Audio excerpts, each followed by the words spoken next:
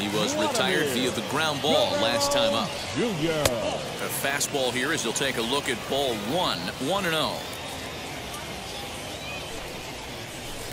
Easy take there on the sinker, well off the outside.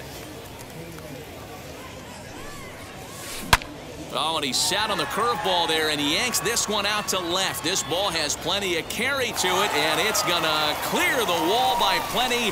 A home run. No surprise with that swing of the bat. This guy is simply one of the best in the game right now. There's not too many guys that take a beautiful hack like that in the league.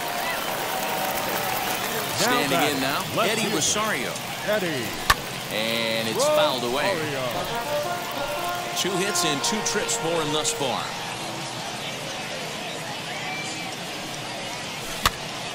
Behind 0-2 now.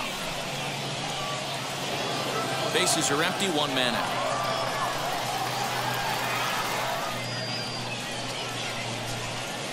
He pulls this one high and deep to right center field.